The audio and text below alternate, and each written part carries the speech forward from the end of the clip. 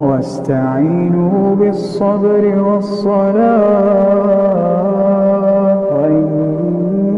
إنها لكبيرة إلا على الخاشعين.